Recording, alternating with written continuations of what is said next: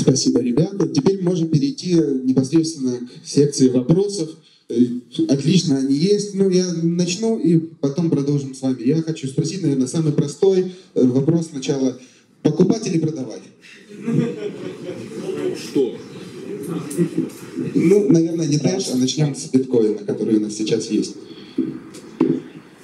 Ну, я не знаю. На самом деле проблема состоит в том, что у нас э, нет никаких таймфреймов. Я хотел бы обратить внимание на вещь, которую я сказал во время своей презентации, но я хочу еще раз ее повторить. То есть, если за сегодняшний день вы запомните, э, сможете запомнить одну вещь, я бы хотел, чтобы вы запомнили конкретно эту вещь.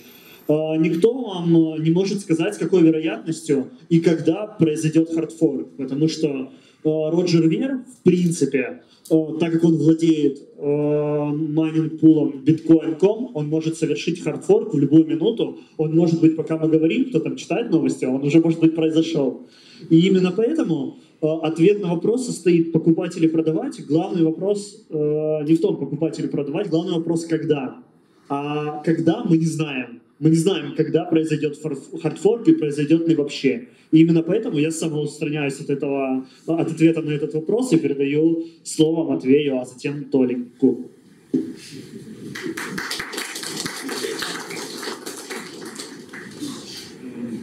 На самом деле цена вообще сейчас не играет роли в силу того, что если мы возьмем очень долгосрочную перспективу и Bitcoin Unlimited не удастся выхватить больше половины цены, то просто биткоин Core, цена бит, биткоина, который поддерживается биткоин кором, вернется на, на все на круги своя и будет продолжать расти. И все, собственно. Есть что добавить, Толик? Не, если вы биткоин-максималист, конечно, покупайте. Вот. Я покупаю, в принципе, каждый день по чуть-чуть. Поэтому есть кому продать. Есть просто важный момент, что мы будем наблюдать на рынке, я упоминал ранее, переток капитала. Сначала он будет синтетическим и будет выглядеть как волна пампов разных альткоинов на Polonix и еще где-то там, да. А, он будет, будет подписываться в том числе естественной реакции рынка, да. Вот. Еще помогут э, боты там и другие как бы алготрейдеры, вот, э, которые активно приходят на рынок, наверное. Вот. Поэтому вот так вот покупайте скорее. Спасибо. Кто хотел задать вопрос? Вижу, иду.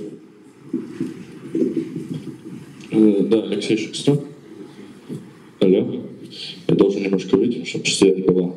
Э, я хотел... Начнут подражать, и поэтому хешрейт, который будет голосовать за Bitcoin Core, то бишь за обновленный Bitcoin Core, который называется Segwit, э, мне кажется, он увеличится. А, может быть, я ошибаюсь, сейчас майнер скажет, что я совершенно не прав. Лайткоин, конечно, можно всегда представлять как тестовая площадка для сети биткоина. Со своим комьюнити. Да, со своим. Тестнет со своим комьюнити. Ну, это, это прикольно, то есть ты можешь отыгрывать э, не только технические моменты, но также политические, как мы видим, и ценовые, потому что в тестнете ты видишь только техническую сторону вопроса. А Litecoin по факту это площадка для всего. И сейчас, возможно, возможно, если хардфорк затянется и на базе лайткоина появится что-то интересное, то это будет отличным аргументом в пользу Сегвита. Анатолий, есть что добавить? Следующий вопрос кто-то хочет задать? Сейчас, да, по очереди.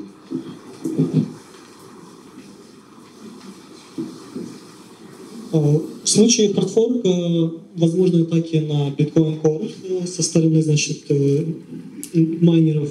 И второй вариант проблемы в Core, э, что значит, скорость добычи блоков, сложность добычи блоков аджастится каждые две недели, и если хардфорк будет сделан в самый неоптимальный момент, то вот этот аджастмент может произойти очень поздно, из-за чего пропускная способность кора упадет, потому что майнеры ушли в Unlimited. И в довесок к этому Unlimited может атаковать Core.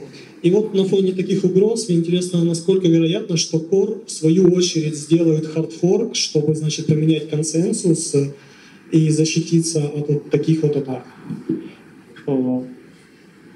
Мне кажется, это маловероятно, если я правильно понимаю психологию разработчиков, вообще систему принятия решений э, внутри Bitcoin Core Community. Потому что э, до последнего момента все очень плотно придерживались BIP ов то бишь Bitcoin approval, чего там, Bitcoin approval э, кажется, да. То есть э, системы принятия решений внутри Bitcoin Core а.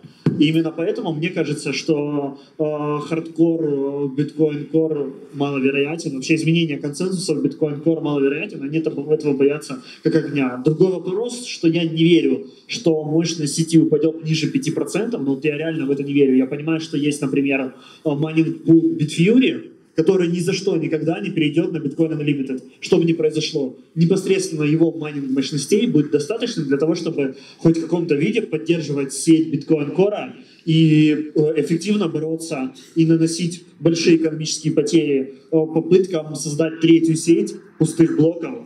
И именно поэтому мне кажется, что этот сценарий маловероятен. Я его просто показал в качестве вишенки на торте, но он, мне кажется, совершенной фантази фантастикой, а, влажными мечтами Роджера Вера.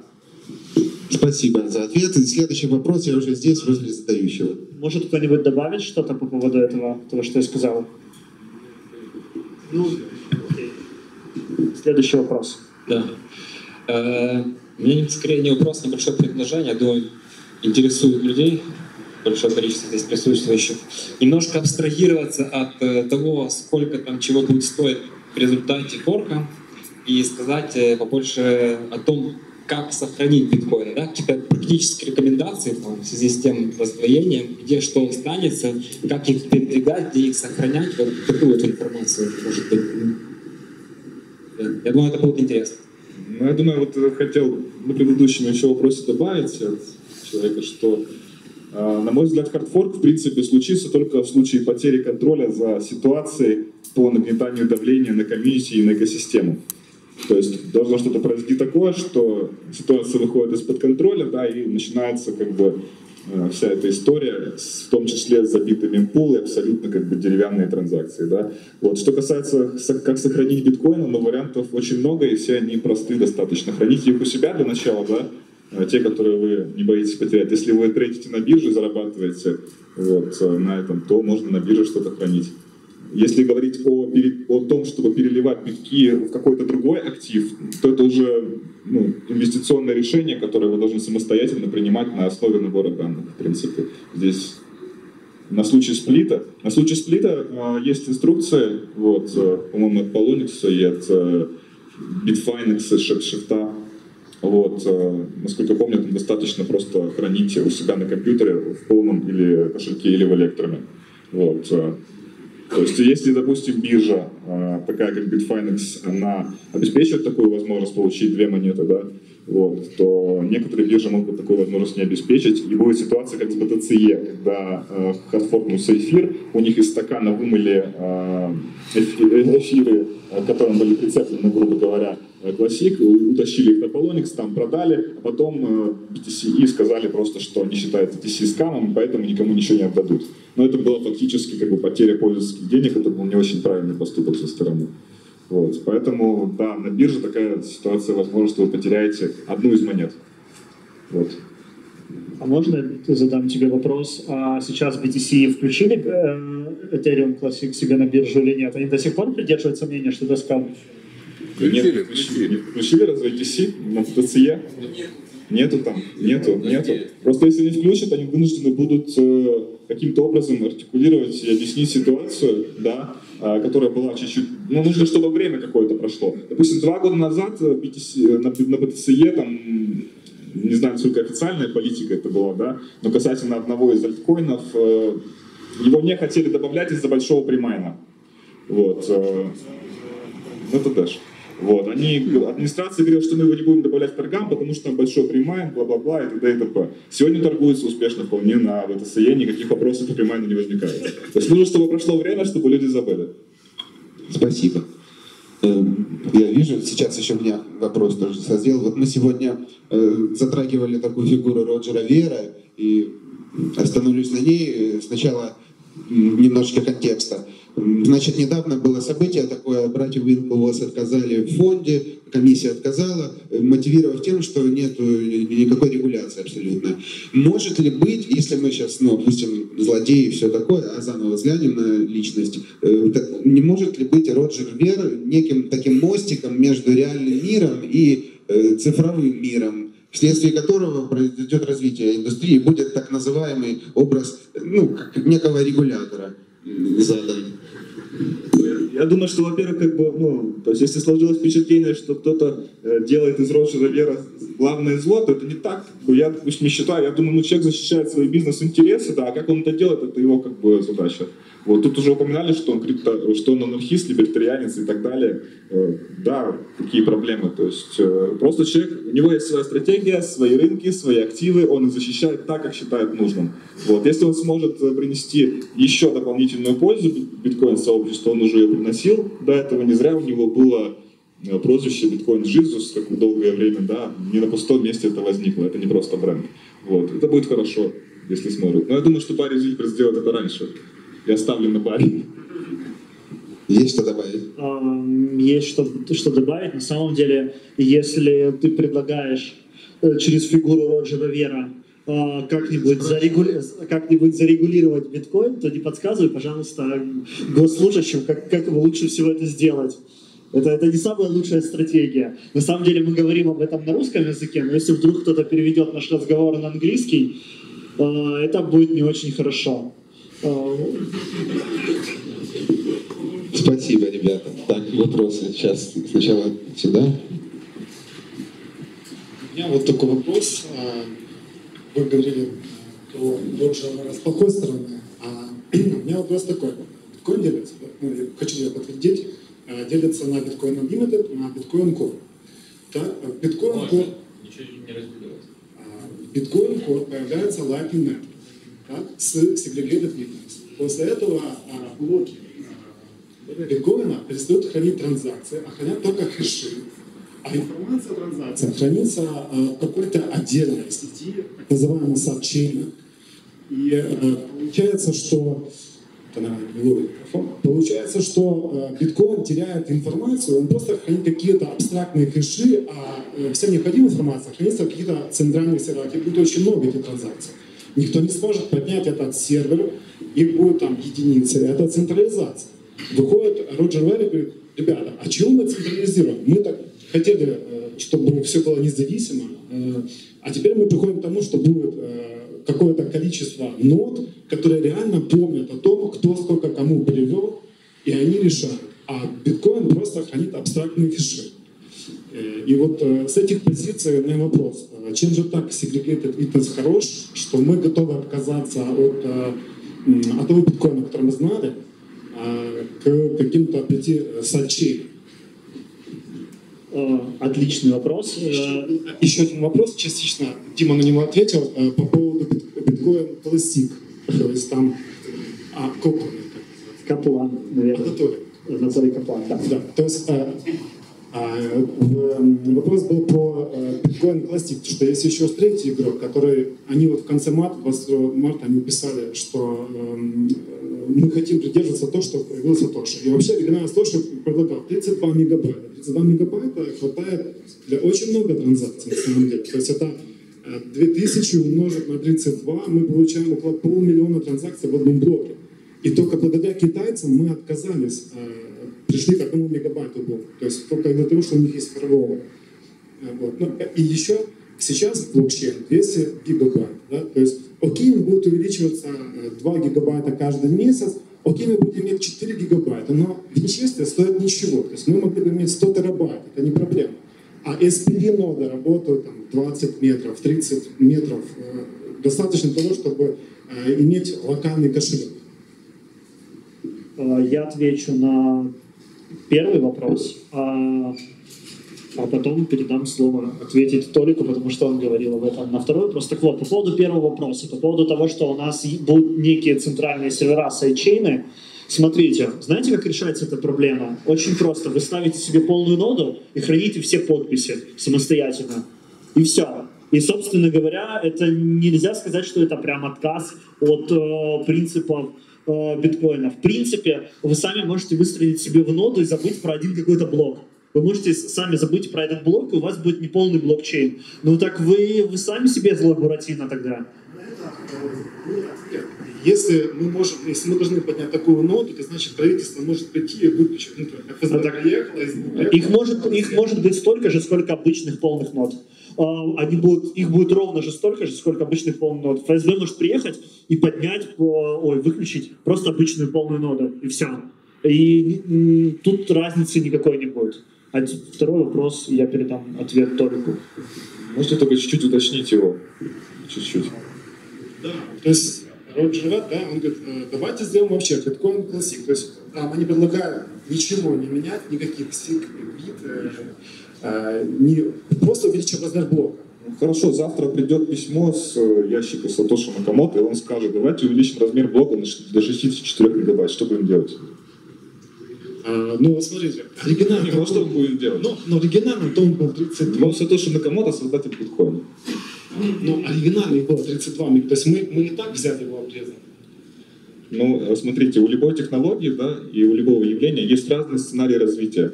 Вот. э, В силу того, что биткоин это не PayPal, там, не Яндекс деньги, да, вот, э, это некая, как бы, коллективная собственность, да, грубо говоря. Не хочется такие термины употреблять про коллективную собственность, но тем не менее. Вот. Общественное достояние.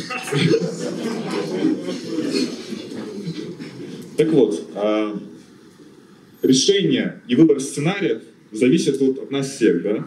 Вот мы сейчас сидим здесь и обсуждаем, собственно, вот э, существующую ситуацию в индустрии. Не для того, чтобы сказать, что э, биткоин Unlimited это супер плохо, или биткоин код супер правильно, или биткоин классик это верно, или давайте призовем Сатоши Накамото спиритическим сеансом. Не для этого. Вот, э, это дискуссия, и нам необходимо понимать, какие могут быть векторы развития у технологии. И большинство, большинством как бы, голосов, как это происходит, в принципе, сейчас в биткоине, решение будет принято. И будет оно нравиться там мне или вам, или не нравится, уже не имеет значения на самом деле. То есть э, мы можем сейчас сделать биткоин Киев. Давайте. Э.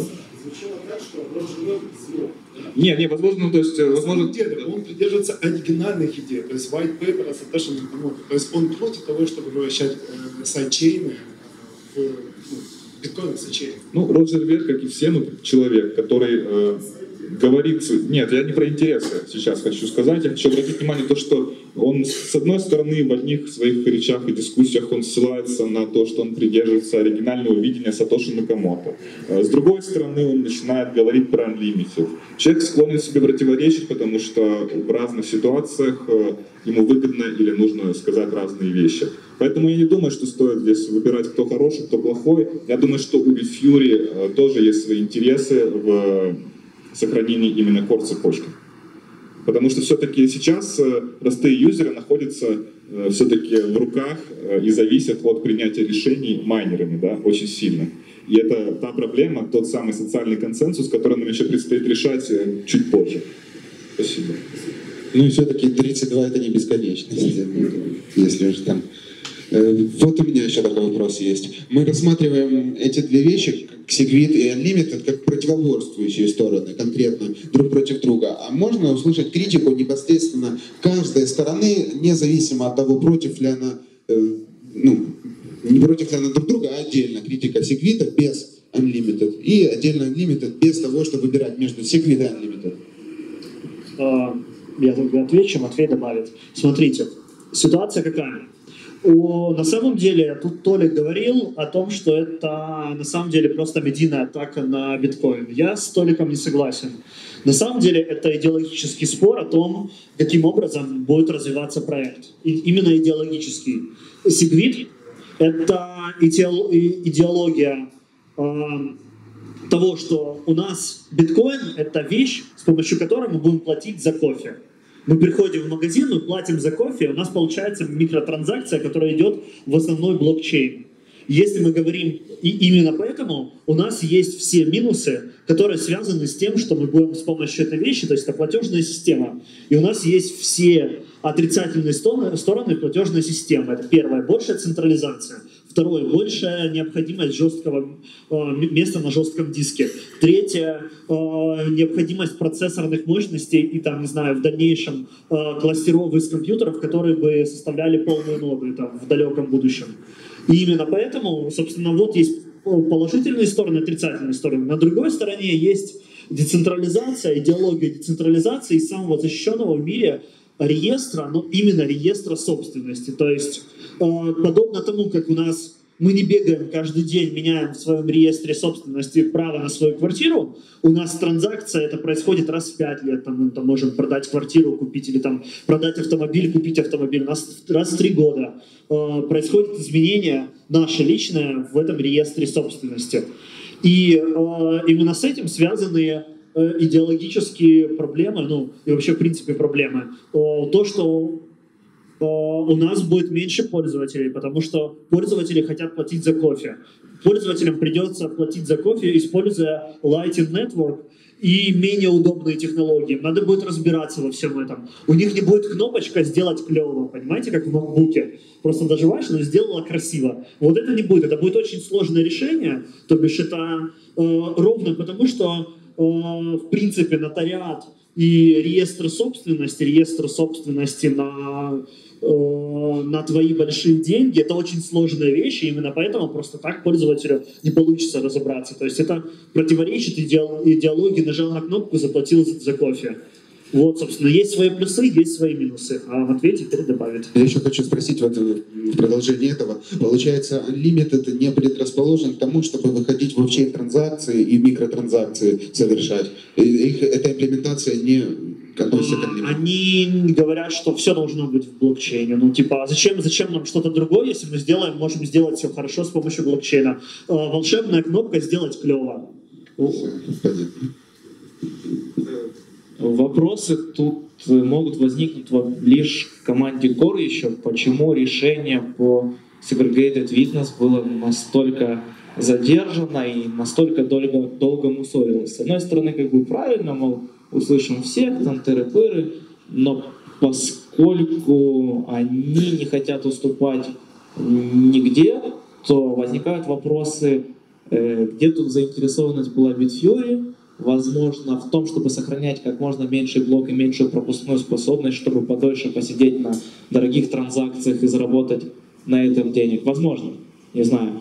И вот, собственно, вопрос, почему так долго? Почему это затягивалось, хотя решений было много от разных команд и достаточно часто они звучали. Вот, вот в этом плане в команде есть вопрос. Спасибо. Кто хочет поучаствовать? Вопрос. Четвертый раз рука уже. Можно я от народа так по-простому буду спрашивать? Okay. То есть первое. Э, ну, о чем говорил Андрей. Андрей, да? Да. Уже в первое чтение попытался пройти изменения в закон о нотариате, где как раз о правах собственности шла, шла речь. Да? И вот это вот право собственности, нотариат, реестры, э, ну, смарт, можно это назвать смарт-контракт? когда право собственности подтверждается через технологию блокчейн или нет? А, смарт-контракт это немножко другое. Ну, бог, права собственности, да? То есть там движняк какой-то уже пошел. Есть уже люди, которые на старость копят биткоин. Два основных направления. Юридическое, ну и такое, деньги. Да? Предположим, случился хардфорк. Что самое страшное произойдет в этих двух направлениях? А, юридическое, собственно, мне, не, мне кажется, ничего не изменится. А второго что? Ну, деньги. Да? А, деньги, ну, может, может упасть курс и одного, и второго проекта, что более вероятно.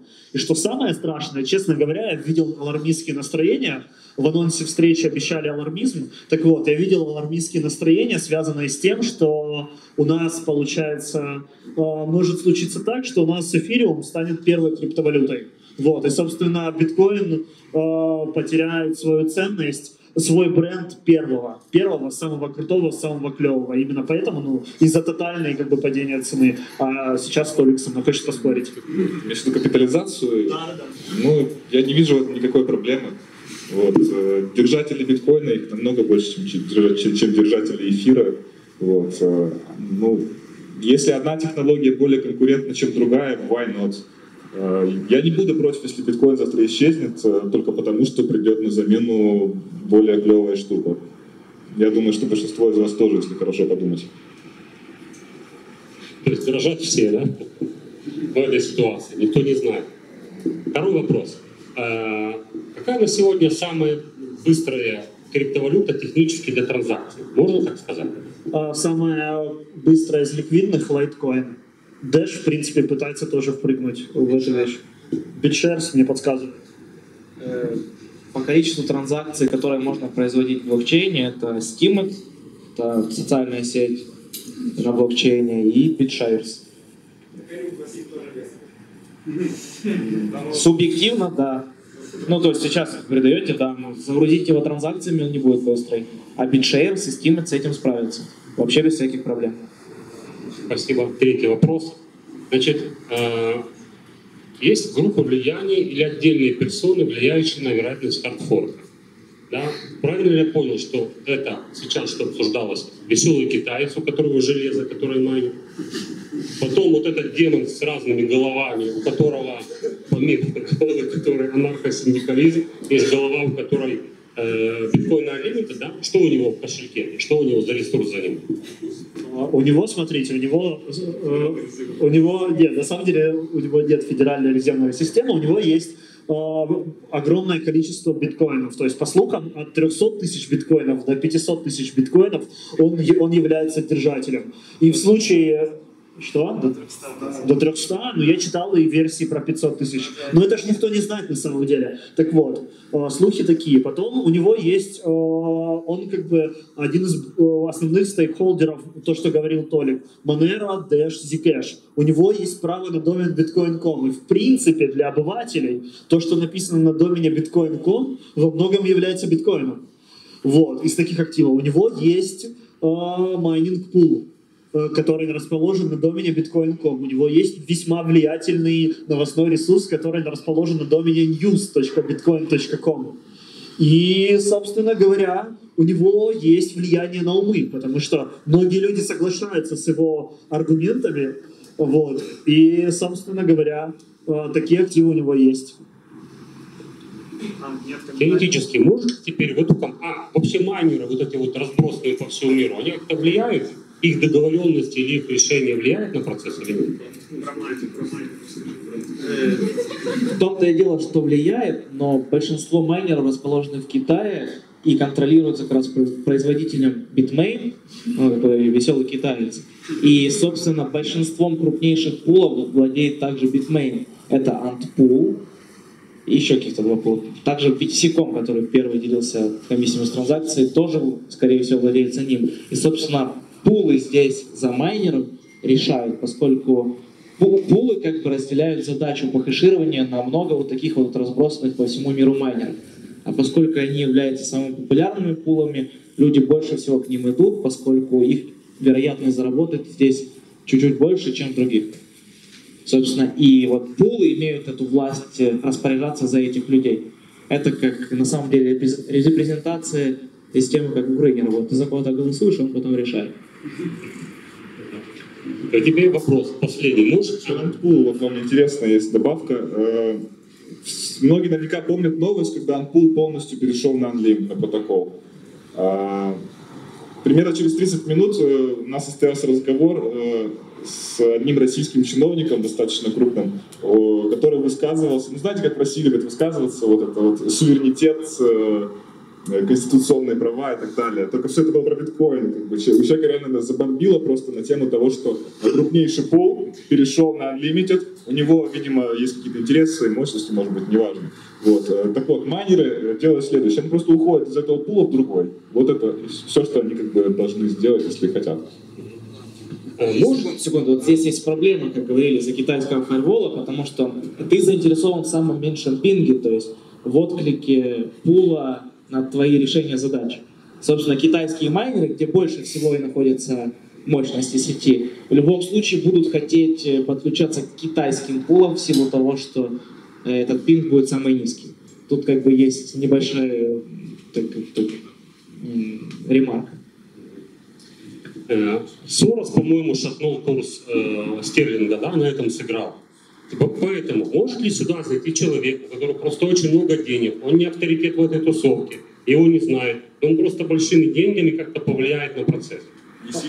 Каждый, каждый раз, каждый день такое происходит на рынке альткоинов. Каждый день, если вы зайдете на полы, на polonix.com, на... вы можете увидеть, что э, это просто лотерея, ты можешь просто играться и ставить на то, что следующее помпанет или что следующее домпанет. То есть реально люди с большими деньгами, причем с какими большими деньгами? Если второсортную, третьесортную монету, достаточно зайти просто сотни тысяч долларов, там, с несколькими десятками тысяч долларов зайти для того, чтобы сделать памп.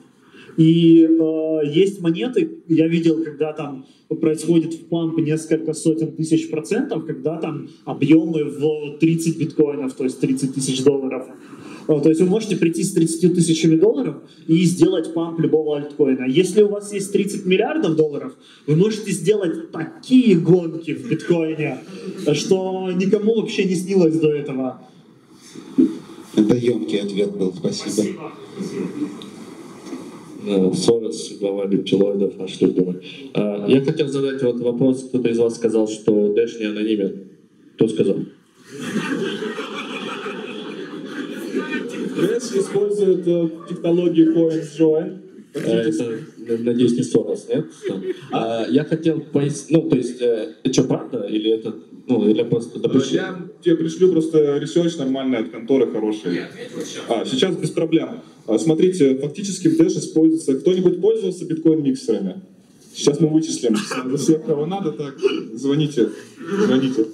Вот, а, когда вы используете биткоин-миксеры, там есть определенные паттерны, по которым происходит смешивание биткоинов. Э, Сейчас как бы запускается много в Рунете микшинг-сервисов, которые в том числе предлагают мешать через биржи.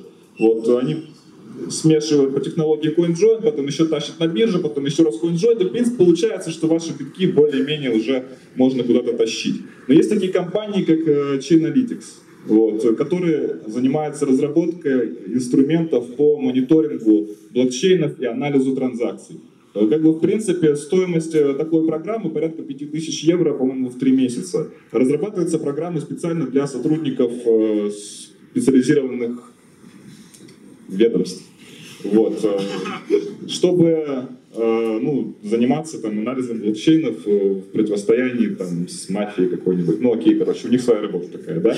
Вот. Э, Суть в том, что в Dash фактически, фактически используется тот же микшинг, э, как э, по технологии CoinJoin. Соответственно, как бы распутывается это очень легко.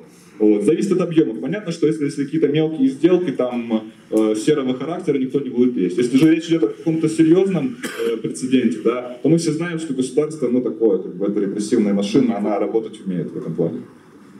И тогда уточняющий вопрос догонку. А какая, собственно говоря, из трех вот этих валют анонимных, якобы Zcash, Dash, Monero, она действительно анонимна? Или они все, в принципе, анонимны, если там, там все...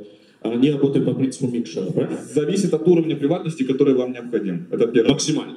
Э, Я думаю, что в случае максимального уровня приватности э, будет оптимальным вариантом Monero, поскольку это криптонод и поскольку это кольцевые э, транзакции, кольцевые подписи. Вот. Zcash, насколько я знаю, там еще не активировали то, что нужно активировать, чтобы он был э, достаточно анонимным. Насколько я знаю, есть стелс-адреса в BitShares, в принципе, и в BitShares, соответственно, тут есть у нас специалист по BitShares. Есть же стелс-адреса, там можно, в принципе, отправить неизвестный амаунт, неизвестный получатель. То есть Zcash это на самом деле не вот что-то новое революционное, это вот, ну, пока, пока, ну, А, на самом деле Zcash новая революционная. Проблема в том, что до сих пор нет нормального математического доказательства, ровно потому что это новая революционная, нет нормального математического доказательства, что оно работает так, как оно написано вообще в бумаге. То есть э, в реальности сейчас лучшие математики мира ломают голову над тем, а что вообще произошло. Это вообще работает или нет? Ведь смотрите, ситуация какая. Тут у вас чем меньше приватности, тем больше уверенности того, что у вас не будет double spend а и что вы потратили деньги туда, куда вы собирались. А чем больше приватности, это приватность и от вас. И вы не знаете, дошли ли покупателю деньги или нет. И поэтому, вот если мы говорим про Zcash, во-первых, он не активирован, во-вторых, там нет пока строгого математического доказательства о том, что реально э, вашему как бы покупателю-продавцу дошли деньги, то есть из одного адреса во второй вот. э, И там, там все очень сложно, и поэтому у вас чем больше приватности, тем меньше уверенности. то есть пока Monero и Dash. Вот. Э, Я во-первых, ну да, в Zcash она, по-моему, еще не активирована, а пока да, но если когда она будет активирована, опять же, нужно, чтобы люди подольше протестировали это на практике, посмотрели, что он действительно работает так, как написано, чтобы математики поломали голову над этим, сделали строгое доказательство вообще того алгоритма, что, что там внутри. И о, тогда мы сможем с уверенностью юзать его. Ты хотел что-то добавить? Кто-то еще вопрос? Отлично. Была в СУИ упомянута Федеральная резервная система, я просто вот обязан теперь этот вопрос адресовать. Эм, Если абстрагироваться от того факта, что на текущий момент, в принципе, вся экосистема биткоина напоминает ну, финансовую пирамиду, будем откровенны. Э, Проблема просто в том, проблема в том, что, к сожалению, э, большая часть транзакций, а вернее 90 с лишним процентов, если не ошибаюсь, это транзакции не купи-продай. Это либо спекуляция, либо это майнеры, которые там что-то как-то между собой творят. Собственно, вопрос. Собственно, вопрос. А опять-таки, если не думать о том, что там кто-то выиграет по тренировке биткоин на лимит, кто-то проиграет, это, в принципе, логично. Разве в целом это позитивно не отобразится на всей экосистеме блокчейна как таковой и над adoption технологий, скажем, более широкими кругами населения? Я отвечу на первый вопрос. Смотрите. Да, да, вот, вот, вот бумажка. Что она стоит? Почему она стоит денег? Потому что мы договорились, что она стоит денег. А кто договаривался? Вы договаривались со мной? Нет? А вот эта бумажка точно так же. Почему она что стоит? Почему? Есть кто-то, кому мы верим, кто Силой насилия, и как, как говорит у нас тут есть момент, Александр, что доллар подкреплен военно-морским флотом США, потому что если завтра мы скажем, что доллар как бы не работает, и мы с Молдовой начнем рассчитываться, например, в битках, то в Одессу заедет военно-морской флот США. И третий вопрос. Вот, сколько стоит эта розетка? Вот сколько вы мне готовы за нее дать? Назовите любую сумму. Столько, сколько она мне нужна прямо сейчас. Если прямо сейчас нужна, я заплачу там, не знаю, последние штаны отдам. Если нет, то ноль. Ну, неважно, вот скажите, а вот любую, любую вообще сумму. Предположим, 10 неких единиц, условно. Все, 10 условных единиц мы можем расплачиваться этим товаром. Если вы знаете, что биткоин, до, до создания биткоина черный рынок наркотиков работал, э, расплачивались лего, лего кубиками. Даже сейчас вы можете найти на Амазоне коллекционные наборы лего, которые стоят десятки и сотни тысяч долларов. Непонятно почему. Так вот, именно вот эти вот вещи были цены в мире наркотиков. В том числе и предметы искусства, в том числе и автомобили. Да, на Лего это самый э, простой и понятный механизм был подтверждения стоимости. Потому что он э, тогда регулировался одной компанией, да, но он был ограниченный ресурс. То есть коллекционные модели выпускались очень малых объемов. 5, 10, 100 экземпляров. И это был отличный ресурс для расчетов. Вот точно так же любые деньги. Любые деньги стоят ровно сто- столько, сколько вы готовы за них дать. И тогда можно сказать, что весь мир пирамида. Ну, на самом деле, да, вообще Ну, сама вот. идея денег на этом построена. Ну все. Мы ваш вопрос, по идее, раскрыли. Первый. Не совсем. А, Вы только что упомянули, что кто-то с кем-то договорился. Вы со мной договаривались, да? А, Я же еще раз говорю, что вы договариваетесь не между собой, а есть некое третье лицо, с чьим мнением мы согласны. И на Это федеральная этого резервная мнения- система, да? Типа, Если говорить про доллар, то- Гонтарева. Вы верите Гонтаревой. Поднимите в зале руки тех, кто не, Не верит, верю, не, нет, не нет, верит нет, Гонтаревой. Поднимите руки, кто не верит Гонтаревой. А теперь поднимите руки, кто верит Гонтаревой. Кто верит? В данном случае это не совсем тот человек, которому нужно верить. Это не та структура, это всего лишь голова структуры, не более. И то, она не принимает явно не все решения в этой структуре. А, то есть вы верите какой-то абстрактной структуре, а хотя вы даже не знаете никого, кроме, кроме Гонтарева. Назовите хоть, хотя бы еще одного сотрудника а, Нацбанка Украины. Я не говорил, что я верю этой структуре. Но никто не верит этой структуре. А, при этом а, и такой вопрос, а кто а, в реальности верит алгоритму консенсуса биткоина здесь? А, Теперь вопрос, учитывая, что людей, которые верят Гонтаревой меньше, чем тем, кто верит алгоритму консенсуса биткоина, вопрос, почему пирамида биткоина не кривная? Вот мы взяли только что и договорились. Вот оно имеет цену. Да. Ну да, тем более тоже чуть запекло. Покупай, продавай, ну почему? Присутствует. За биткоины покупается фиат и продается. Вот. Это как трансграничные переводы, пожалуйста. Мы не продаем что-то своим родителям, мы скидываем им деньги. Под маской первого вопроса успешно забылся второй, а, который, мне кажется, более важным. Как раз именно из-за из-за вот этой медийной шумихи вокруг э, форка биткоина более широкие круги населения узнают о том, что такое криптовалюта, что такое блокчейн, почему это все существует и зачем это вообще нужно. Э, Разве в целом от этого не выиграют все в итоге? При условии, что, конечно, кто-то выиграет на основе того, что будет форк, кто-то выиграет, если форка не будет. Э, Я понял, вы считаете, что самоубийство это отличный самопиар.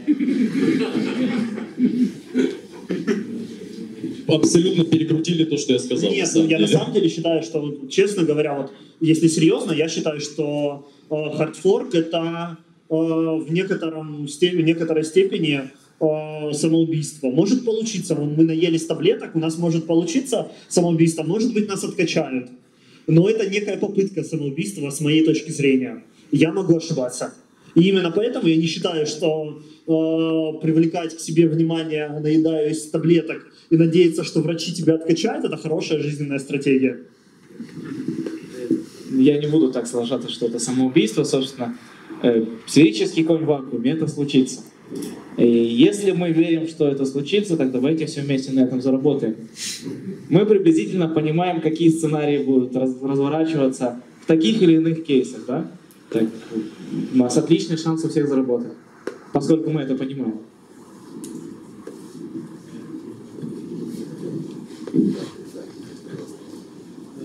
Смотрите, я хотел бы затронуть такой вопрос, как, э, собственно, комиссии, которые есть э, в битке.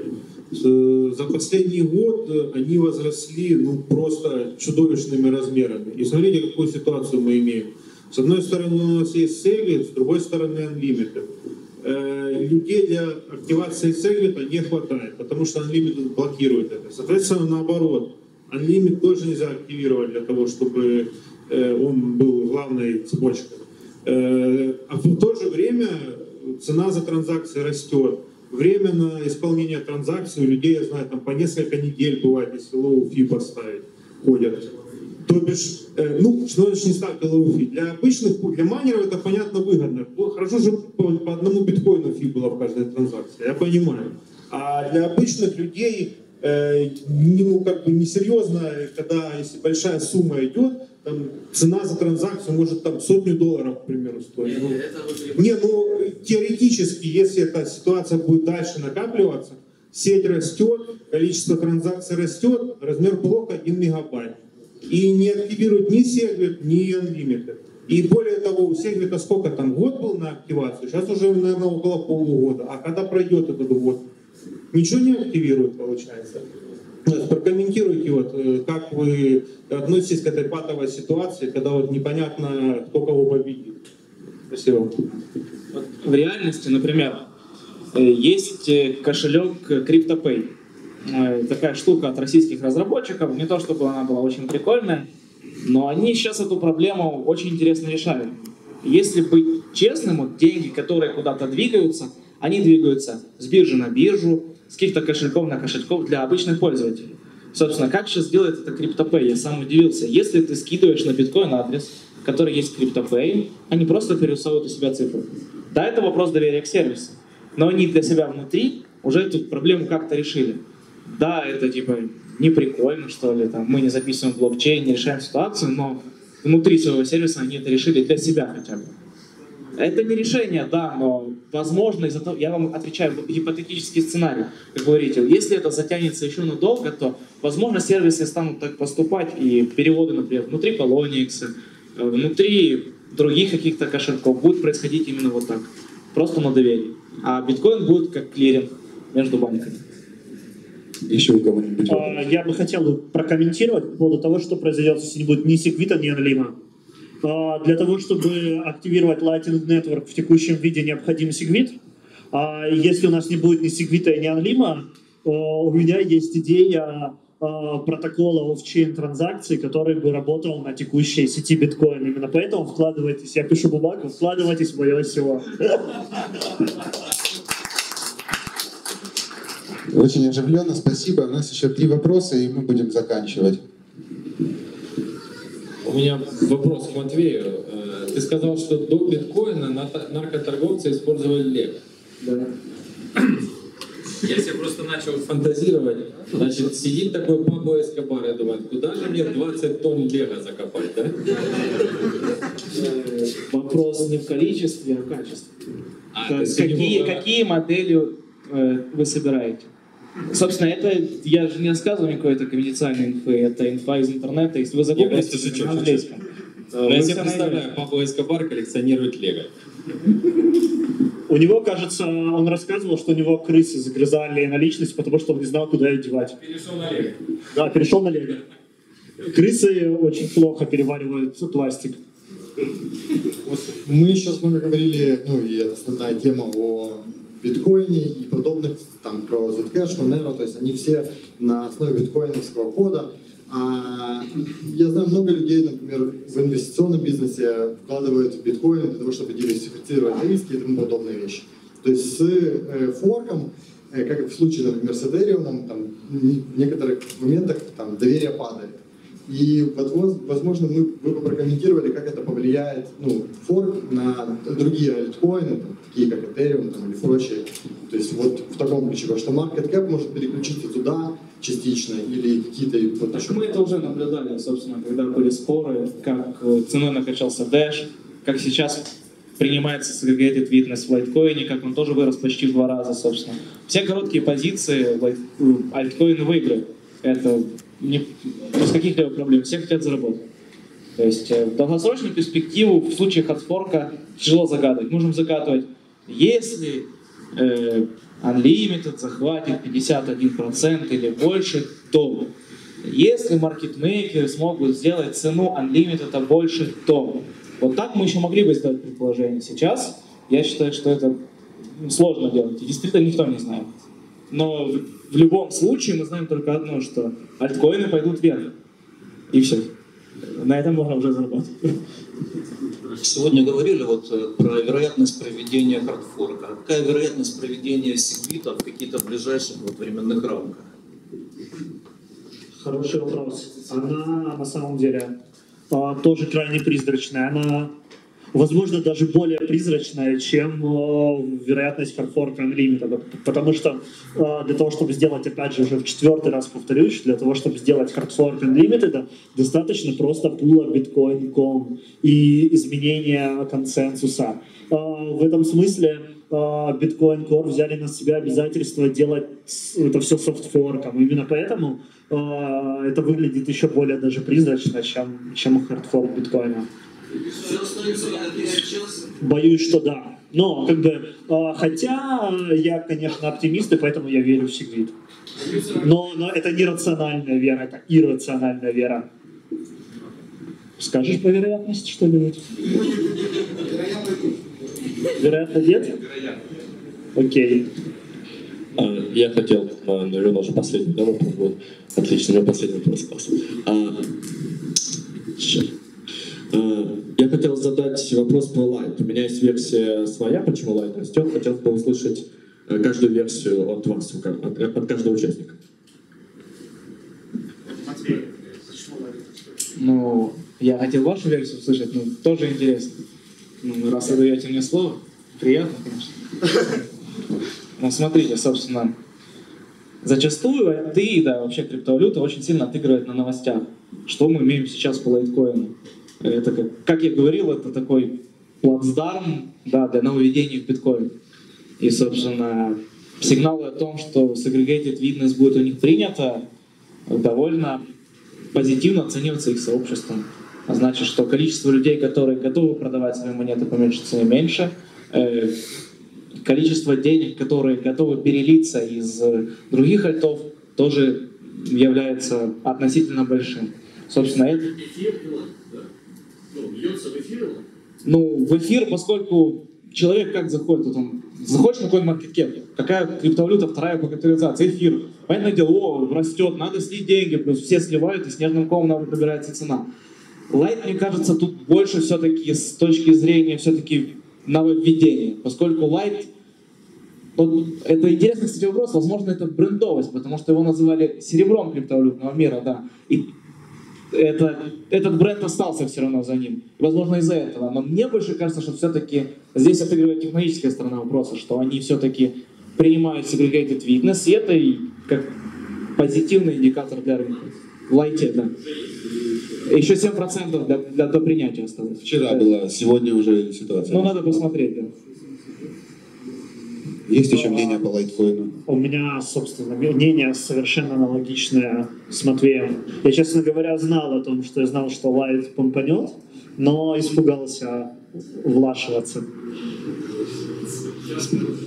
Не знаю, я вот это мое личное, это мое личное такое, да. Для меня лайт это 10 долларов 75 центов. А, сейчас скажу. 0,08. Мне тут неудобно просто. Этот э, телеграм-бот. Вот, BTC, XTC. Ой, наоборот все было. Ладно, не будем сейчас. В общем, а, когда возникает проблема, допустим, с мемполом, он забивается, и мне нужно с одной биржи на другую деньги перегнать, я просто покупаю лайт и делаю это достаточно быстро. Э, То есть, в принципе, лайт э, технологически все еще недооценен. То есть, когда его цена 3 доллара, я иду и покупаю. Ну, это лично я иду и покупаю. Потому что я считаю, что цена 3 доллара для него это не цена, потому что у него есть экосистема, есть своя экономика. Можно посмотреть статистику по блокчейну, увидеть, сколько там транзакций в день и как э, количество чуть-чуть ну, растет. Вот. Это вполне живой проект, несмотря на то, что там, да, lack of маркетинг и все такое. А можно предположить, что вот э, в Лайте, да, он может показать, реакция будет Мы же уже этот вопрос поднимали, если не ошибаюсь. И, Хотите еще что-то сказать? У меня просто последний вопрос, э, такой, можно сказать, резюмирующий. Сегодня мы разобрали разные стороны, разные составляющие комьюнити, выделили несколько так, веток власти, если можно назвать. Это майнеры, это ноды и э, сервисы, это девелоперы. И все-таки кто комьюнити и кто сильнее?